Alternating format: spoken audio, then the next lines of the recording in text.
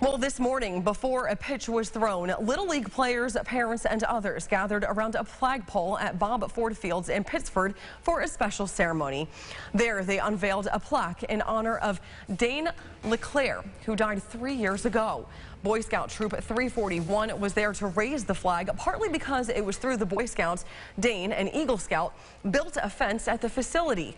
It was also here he umped for a number of seasons. Dan was remembered as a cheerful and energetic young man whose memory will hopefully continue to inspire kids who take notice of this memorial.